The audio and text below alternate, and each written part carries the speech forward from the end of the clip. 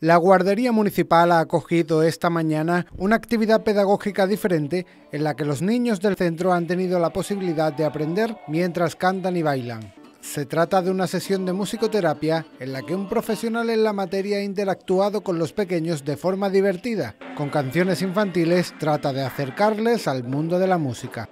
Abrimos nuevos campos, ya sean de expresión, de comunicación, nuevos espacios que antes que se dedican a otros ámbitos diferentes, pues con la musicoterapia lo que logramos es crear un espacio, como veis aquí, en el que los niños se comunican libremente por el espacio, descubriendo sonidos, sonoridades, ya individualmente en cada uno, pues mejoramos tanto el área cognitiva, la social, la emocional, la física, como veis están descubriendo sonidos nuevos. Esta didáctica, protagonizada por las melodías, es una actividad novedosa por la que se apuesta desde este centro. En principio íbamos a hacer una especie de prueba, hemos empezado con los más pequeñitos, también luego van a hacer otro grupo con los más, los más grandecitos de la guardería, los de 2 a 3 años,